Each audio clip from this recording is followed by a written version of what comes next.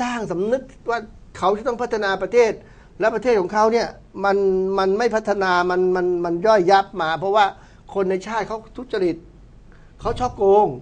เขาคอร์รัปชันเขาก็เริ่มกระบวนการเลยว่าคนของเขาเนี่ย อยู่ในตำแหน่งคอร์รัปชันไม่ได้ อยู่คอร์รัปชันคุณต้องลาออกไป แล้วถ้าคุณไม่สำนึกคุณออกจากเมื่อไหร่เราจะตัดสินแล้วไปจับแล้วจะเห็นว่าเกาหลีเนี่ย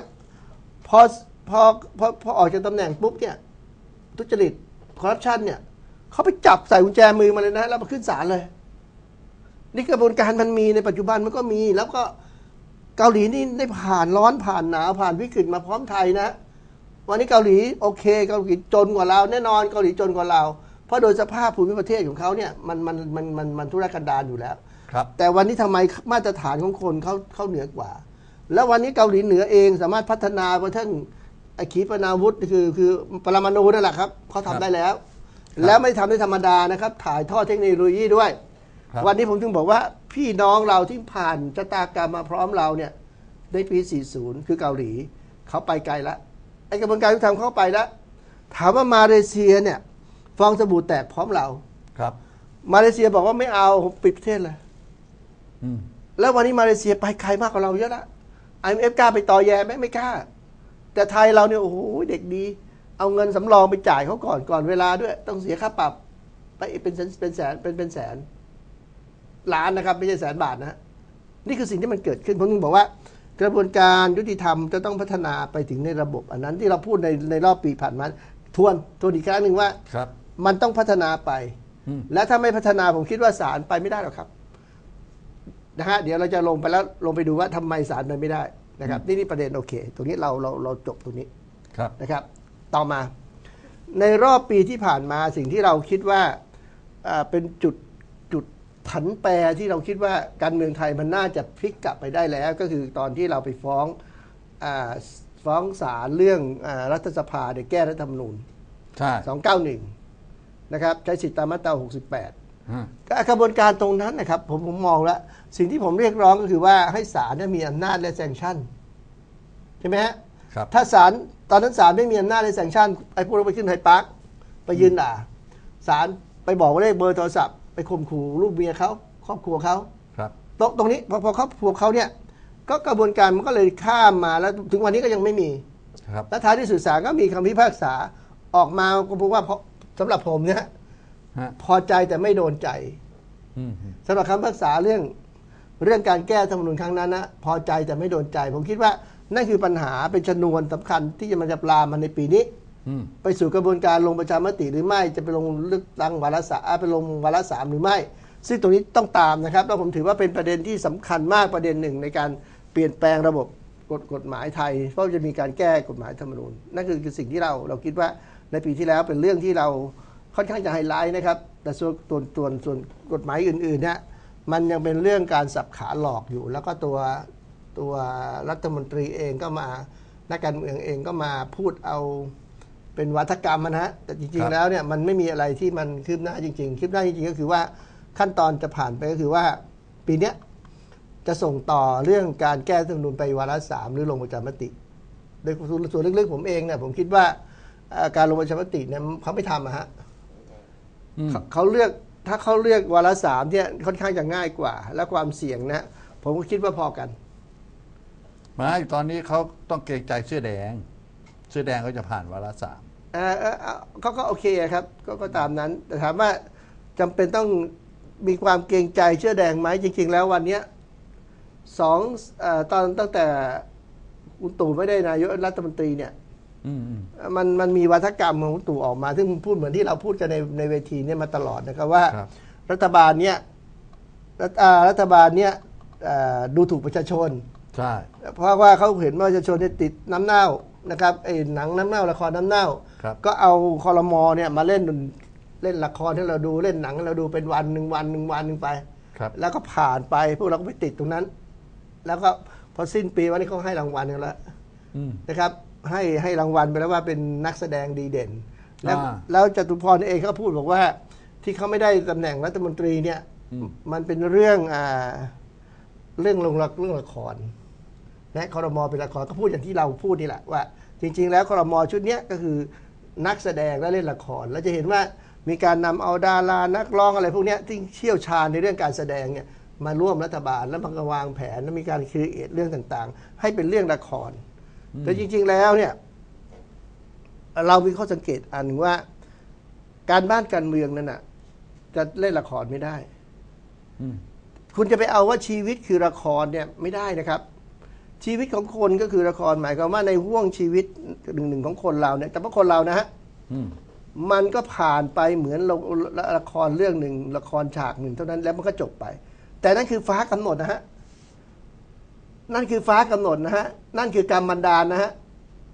นะครับ นั่นคือสิ่งที่มันเกิดขึ้นในชีวิตของคน แต่ในชะตาของบ้านของเมืองแล้วเนี่ย ในการสร้างบ้านแปลงเมืองทั้งหมดเนี่ย เราได้ผูกดวงเมืองไว้ แล้วดวงเมืองมันจะบอกชะตาของบ้านเมืองไว้ แล้วคุณไปทำชะตาของบ้านเมืองไปทำสิ่งที่มันเลวร้ายให้กับบ้านเมืองนะมันคงไม่ได้หรอกครับ ตรงนี้เป็นเรื่องที่เราจะต้องมาดูกัน แล้วผมคิดว่าสิ่งที่เราจะต้องพูดต่อไปคือขั้นตอนหนึ่งอะไรที่มันจะเกิดขึ้นตรงเนี้ย ต่อไปในอนาคตสำหรับภายใต้ดวงดาวที่ถูกวางไว้แล้วในดวงเมืองนะครับอีกเรื่องหนึ่งสิ่งที่เราคิดว่าในช่วงปีที่ผ่านมาอีกเรื่องนี้ที่ผมผมผมผมผมคิดว่าเป็นสิ่งที่มาชดมามากรบนะครับหรือมาทำให้คนไทยเนี่ยซึ่งเสียขวัญขวัญกระเจิงเนี่ยกลับมา ก็คือพระบารมีปกเกล้าของพระบาทสมเด็จพระเจ้าอยู่หัวของเรา ซึ่งมีหลายตอน ผมคิดว่าเดี๋ยวเราไปต่อ ในเบรกหน้าดีไหมเพราะเขาครับเขาเตือนอีกแล้วครับนะครับเอาเลยครับโเอาเลยครับ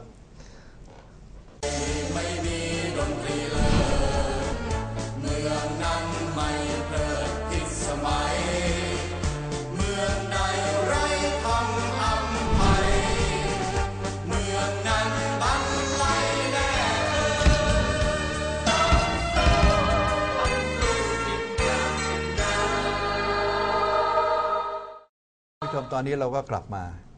บางคนดูหมอดูว่าเขาทายประเทศไทยมันจะวิกฤตอะไรต่ออะไร เราก็พบว่า เอ๊ะทำไมมันไม่เกิด นี่ครับ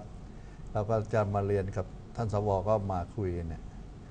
มันมันมีเรื่องนี้อยู่ครับ พระบารมีของพระบาทสมเด็จพระเจ้าอยู่หัวเนี่ยพระบารมีอันเนี้ยทำให้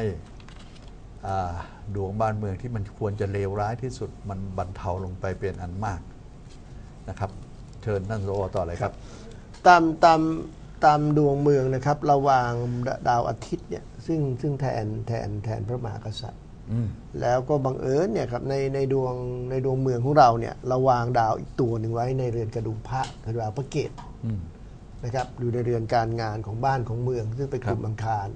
กลุ่มอังคารก็คือกลุ่มกองทัพกลุ่มทหารครับฉะนั้นดาวสองตัวเนี่ยเวลาดูเรื่องดวงเมืองนะเราต้องดูคู่กัน เราจะเห็นได้ว่าบ้านเมืองของเราเนี่ยมันทุกครั้งที่มันจะผ่านวิกฤตเนี่ย ดาวสองตัวนี้จะผัดกันทำหน้าที่อืมเราทำหน้าที่เสร็จแล้วก็มาต้องมาอ่านว่าไอ้ดาวสองตัวนี้หมายถึงใครหมายถึงพระบารมีปกเกล้าของพระบาทสมเด็จพระเจ้าอยู่หัวพระมหากษัตริย์ตาธิราชเจ้าทุกพระองค์ตั้งแต่รัชกาลที่หนึ่งจนถึงปัจจุบันนะฮะท่านสั่งสมบารมีมา แล้วก็เอาบารมีอันเนี้ยมาปกครองบ้านเมืองนะครับ ครับ ปกเกล้าปลกกระหม่อมนะฮะฮะแต่ ยังใช้คำว่าปกครองไม่ถูก เพราะในหลวงเป็นหลวงทุกพระองค์ตั้งแต่รัชกาลที่หนึ่งมาเนี่ยท่านไม่เคยปกครองฮะใช่ท่านปกเกล้าปกกระหม่อม คือแผ่ความเมตตาเนี่ยลงมายังพระสงฆ์นิกรของพระองค์ เราจะเห็นได้ว่า แม้กระทั่งชนต่างด้าวเท้าแต่งแดนมาเนี่ยเขาใช้ว่ามาพึ่งพระบรมโพธิสมภารครับคือมาพึ่งใบโพรุ่มร่มโพร่มไทรของพระองค์ท่านนะครับนี่คือสิ่งที่มันเกิดขึ้นแล้วก็มันมันไม่ไม่เหมือนกับอ่าสมมุติราชอืม หรือเทวดาสมมุติ พระองค์นี่มาด้วยด้วยด้วยด้วยพระเมตตาโดยเฉพาะเลยนะครับถึงว่าบ้านเมืองเราก็จะผ่านวิกฤตมาตลอด เราจะเห็นได้ว่าอ่า 2,555 เนี่ยชะตาของบ้านเมืองเราก็เห็นนะครับว่า ดาวมฤตยูอยู่เรือนวินาศอืมซึ่งบอกชัดเลยว่ามันมีความเสียหายแน่นอนมีความขัดแย้งแน่นอน ดาวเสาร์ดาวราหูอยู่ในเรือนอริ และมเดือนมรณะของดวงเมือง ซึ่งบีบดวงเป็นดวงเป็นดวงที่แทงดวงเมืองตลอดมาครับ นะครับครับแล้วก็มีรัฐบาลที่ไม่เอาไม่เอาไม่เอาฟไม่เอาฐานไม่เอาฟืนไม่เอาแก๊สเลยครับนะครับ เราก็มีวิกฤตมาตลอด แต่ถามว่าเราผ่านมาได้ไงผ่านเพราะเพราะเพราะบารมีของพระองค์ ถามว่าอันนี้พิสูจน์ได้ไหมอืมเราพิสูจน์ได้นะครับ เราพิสูจน์ได้เลยว่า เมื่อพระเมื่อเมื่อ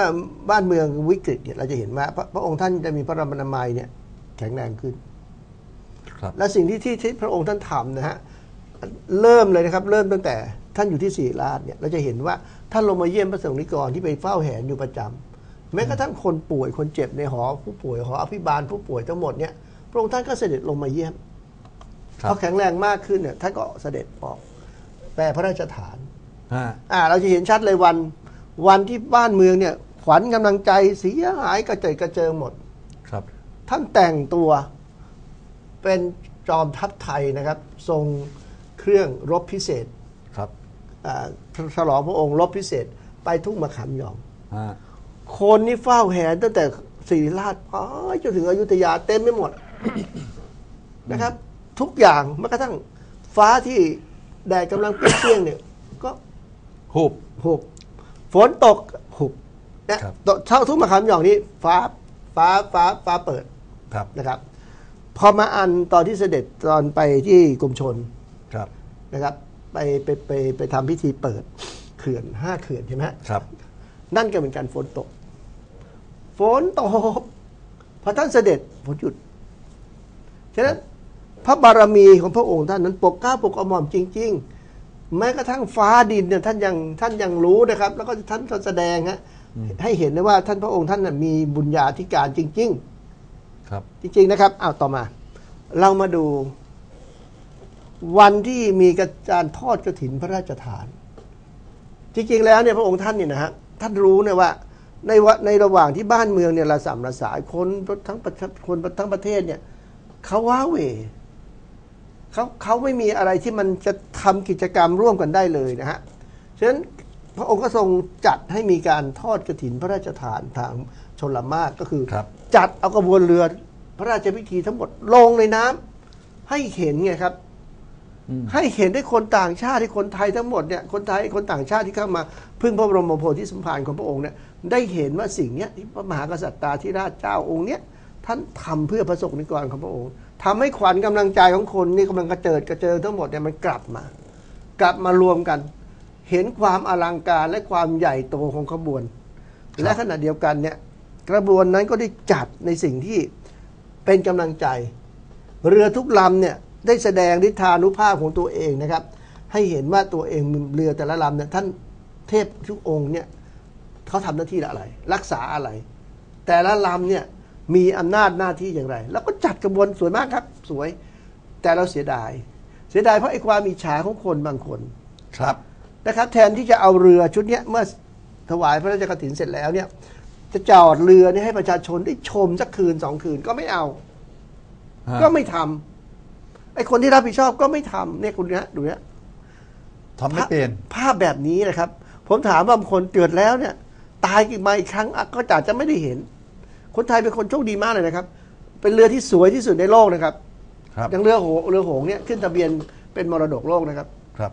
เรือพระราชพิธีนั่งพระที่นั่งเนี่ยสองสามลำได้ขึ้นทะเบียนเป็นมรดกโลกไปแล้ว แล้วเราก็ไม่ได้ไม่ได้ได้ชม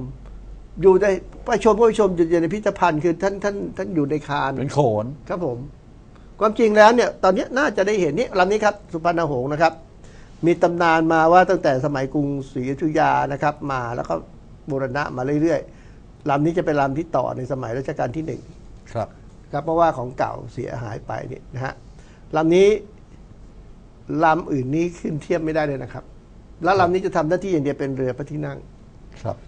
นะครับฮะเคยเคยเคยจะไปเป็นจะเป็นเรือเรือรองก็ท่านไม่ยอม